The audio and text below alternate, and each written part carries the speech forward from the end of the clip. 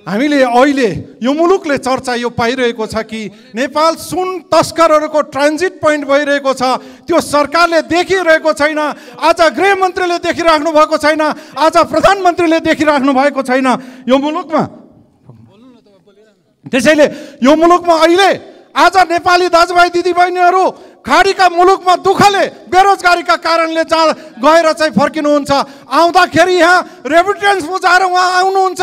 फर्किँदाखेरि आफ्ना आमालाई चेलीबेटीहरूले दिदीबहिनीहरूले एक तोला सुन एक तोला सुनमाथि एक लाल मात्रै व्रत भयो भने त्यहाँको सिसी क्यामेराले देख्छ त्यहाँको प्रहरीले निगरानी गर्छ त्यहाँको राजस्व अनुसन्धान विभागले पक्राउ गरेर उसलाई अनुसन्धानमा राखिन्छ र सुन पनि खो सुनलाई निगरानी गरिन्छ भने एउटा दाजुभाइहरूले आफ्ना श्रीमतीलाई आफ्ना चेलीलाई आफ्ना आमालाई आधी तोला सुनभन्दा एक लाल दुई लाल मात्रै व्रत भयो भने त्यो सुन राज्यले खोज्छ निगरानीमा राख्छ उसलाई मुद्दा चलाइन्छ भने आज एक क्विन्टल सुन एक क्विन्टलभन्दा माथि सुन पटक पटक यो एयरपोर्टमा आउँछ।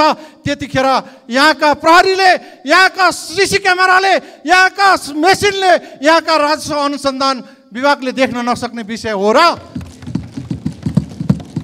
म भन्न चाहन्छु देख्छ तर सरकारको गृहमन्त्रीको प्रधानमन्त्रीको र यहाँ अर्थमन्त्रीको प्रभाव र प्रभावको कारणले ती टेली ती सिसी क्यामेराहरू डिलिट गरिएका होलान् ती प्रहरीहरूलाई निष्क्रिय गरेका होलान् ती राजस्व विभागका कर्मचारीलाई निष्क्रिय गरेका होला होलान् नत्र भने किन देखिँदैन।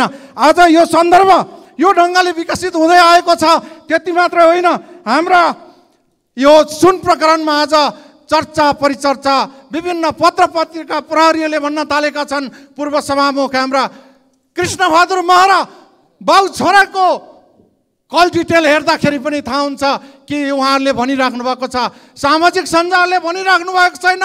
एक पटक होइन बाइस पटक होइन दुई पटक दुई दुई सय पटकसम्म कल डिटेलको कुरा गरिन्छ। तस्करहरूसँग कुरा गरिन्छ। उनीहरूलाई किन किन पक्राउ गरिन्न किन अनुसन्धान गरिन्न? त्यो अनुसन्धान गर्न जरुरी छ। त्यसैले सत्ताको प्रभाव सत्ताको दबावको कारणले सारा संयन्त्र र आज निष्क्रिय भएको छ।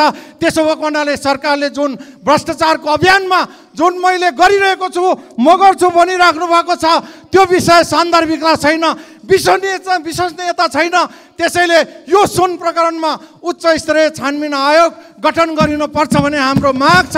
हाम्रो दाबी कायम छ। यो विषय अगाडि नबढिन्जेलसम्म हाम्रो विरोध कायम छ।